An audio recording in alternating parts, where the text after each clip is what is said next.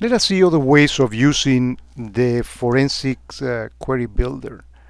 So if we go here into the forensic, uh, we have right now we can see the cases that we have and we can uh, select for example this one as we have done before. And, and you see that here you can also select it here from the command line by saying you know case gmail and, and, and the collection. You specify that that in here but let's say that now we actually want to uh, use the query builder to do more more sophisticated searches. Let's say that we are going to be searching in here on uh, e-persona and what we want to look for is for example credit card numbers.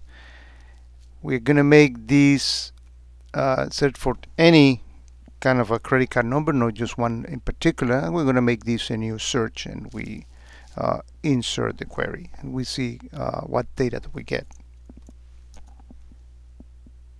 And as we see here, we see a lot of matches, and these are not necessarily credit card numbers. These are numbers that match the algorithm for credit cards. So how can we make this a little bit more interesting? Let's say that we are interested in seeing who is actually uh, sending credit card numbers by mail.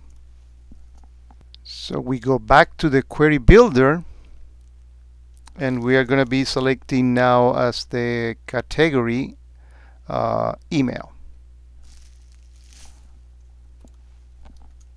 And the field we're going to be selecting here is uh, is uh, two. I mean, uh, this is outgoing mail. I want to see who, whoever is sending uh, email with credit cards number so we're going to specify these to anyone. I can specify a, a, specific user if I'm making a search. And in here instead of making it a new I'm going to make it part of the previous search.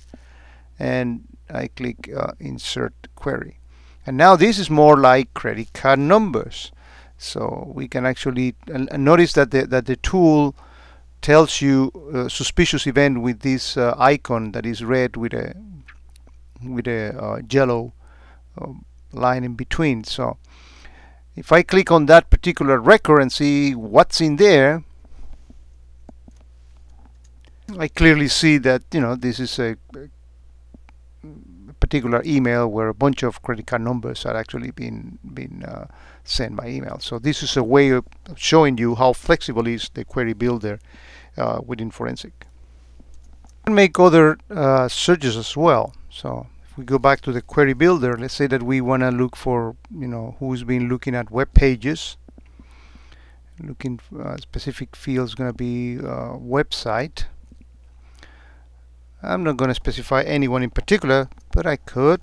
Uh, and I'm going to make this a new uh, a new search. I'm going to make uh, a query.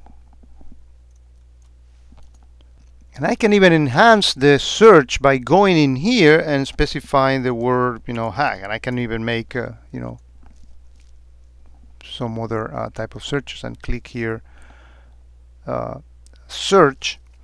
And we can look at, you know, this particular record document and uh, it shows clearly, you know, this is the gray area. This is where the where the document found the, the, the relationship and there was uh, somebody talking about promoting uh, hack for a tutorial so again showing you capabilities and how what you can actually make uh, more uh, sophisticated searches easily without having to know SQL or any any other uh, if you know what you're looking for or you suspect what are the things that you are looking for you can easily find it with uh, the forensic component of uh, QRadar.